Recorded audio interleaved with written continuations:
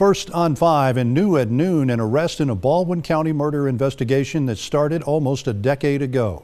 32-year-old Dakota Herring is charged in the murder of Devin Kennedy.